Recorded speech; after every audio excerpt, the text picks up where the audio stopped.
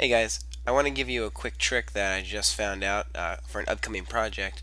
We need a way to, with PHP, modify a docx file. Okay, so basically the task at hand is we'd like to have a docx like so, with a special token in it that can be replaced by PHP. Okay, now that is not a easy task. You cannot do this with a doc file because doc files are compiled and they would have to be read by a COM object and it just it, it wouldn't. But with docx, they can actually do this. How is that possible? docx is actually a zip file. I can actually get info, rename this as a zip like so. I can actually unzip it. Here it is. Go into the contents of the folder, go into the Word folder, go into the document.xml file, make it so we can read it. And now, here's that uh, header 1 file that I can say, I've been replaced. Whatever. Save. Oops. And now, here's the trick to saving it out.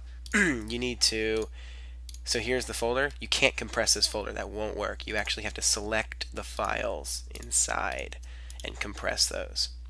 So compress. Let's take this out of there.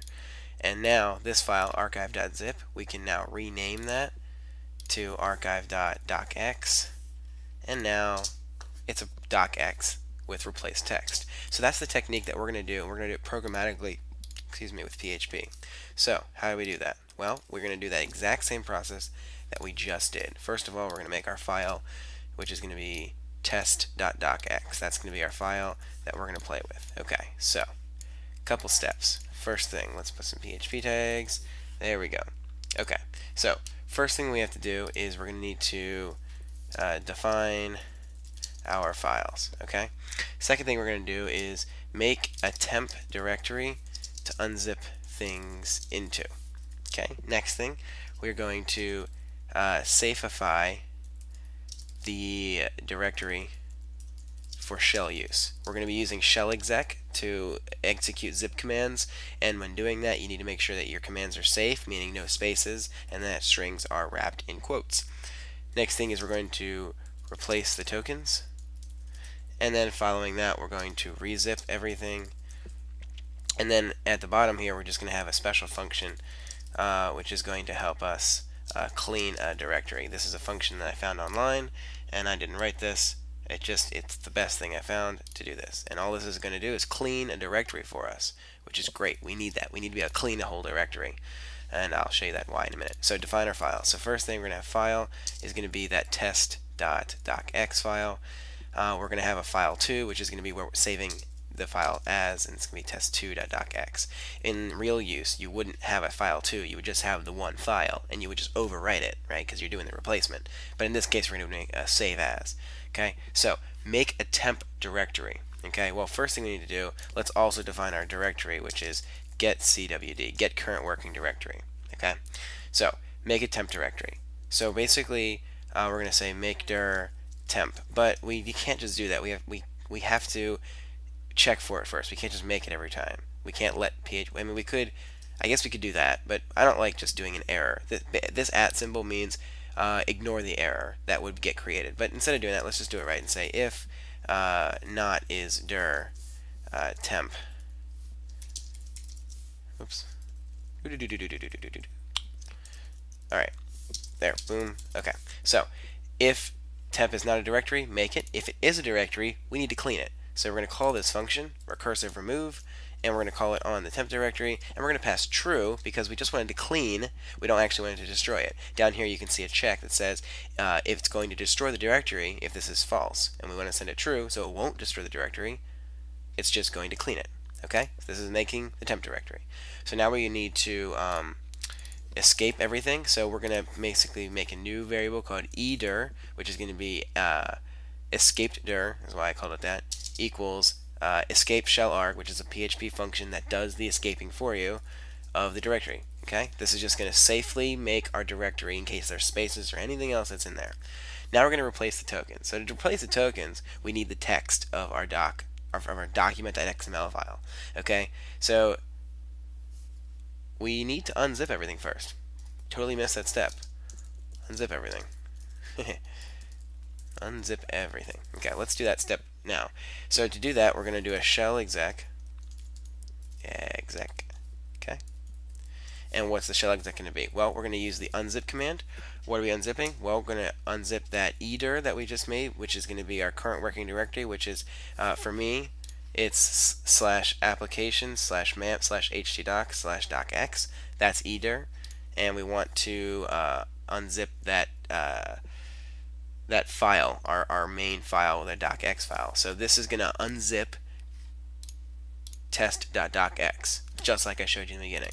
It's going to unzip that. Where are we unzipping it to? To dash D, which is uh, the directory where we're unzipping it to. We're zipping it to edir slash temp. Okay, so we're basically unzipping this and putting it in a folder called temp, which doesn't exist yet, but it will be created because we created it up here. So unzip edir slash file dash d edir slash temp. Now that everything's unzipped, now we can replace the tokens. So we have to go get the text. So we're going to call it C for contents equals file get contents. So we're just going to go and get the contents of what are we getting the contents of?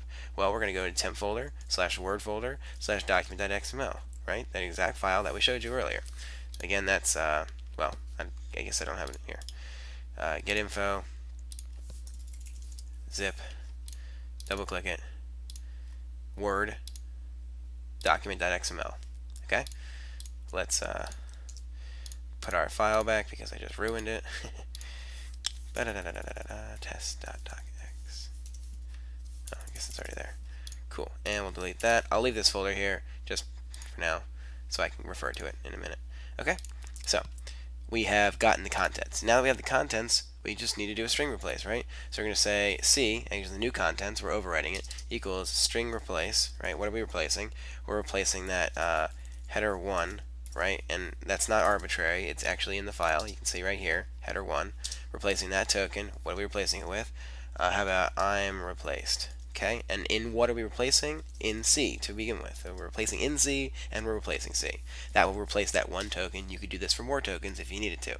So now what we need to do is we need to replace that file. You can't just replace the file though, we need to actually delete the file and then make a new one.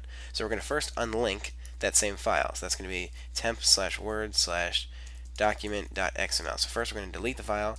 Now we're going to put the file back. So we're going to use file put contents contents and uh, where are we putting this contents to? temp slash word slash document.xml. We could probably say that as a variable so I don't have to type this seven times. And what are we saving? C. Okay, so all we're doing, getting the content, storing it in variable C, string replacing this token with whatever we want inside of C, storing it back to C, deleting the current file, and then putting the file back with our new contents. Now we need to rezip everything.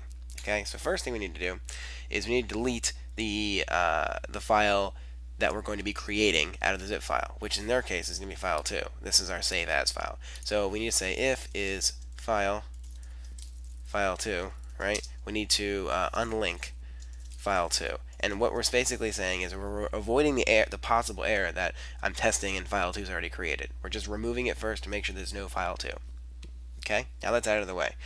We basically have a couple files that we need to zip. Just like we did before, we need to zip these files right here. So rel, underscore rels, doc props, word, and content type. So we're just going to, probably running low on time, so I'm just going to create an array here by pasting. So 2zip is an array. Those are the exact files I want. And now we're going to basically make a command here, uh, which is going to be shell exec. I'm just writing it out as a string first. We're going to, first thing we have to do is cd into the temp directory, which is where those files are. This won't work if you don't do that. So we need to cd edir slash temp, edir slash temp, and that will be the uh, that will be my current directory slash temp. So now I'm currently in my folder and and to make a new command. So this is all one command here. I'm basically bringing in two commands together. So first I'm cding into my temp directory, and now I'm going to use zip command. So zip dash r for recursive because we want our folders. I want where I what want my zip to be called? Well, I want it to be not in the temp directory, so back one and then file two. So you know it's going to be uh, it's going to save it out into here as file two well test2.docx. Okay, and now we write in all the files that we want. Well, we already have all the files listed here, which is why we did an array. So all we're going to do is dot implode by a space to zip, and that will implode um, the uh, files together in space form, and that will give you the whole correct command. And all we have to do is shell exec uh, the command, and we will echo that. So in case there's any errors, we will see them. So echo shell exec command, and that is the code. So now if I save that, assuming I wrote everything right, we'll delete this folder. Here's our stuff. If I refresh the page, you can see everything seemed to be okay. If I come back over here, here's test two. Well, here's test.docx with header one, and here is test2.docx with the text replaced, which was done with PHP.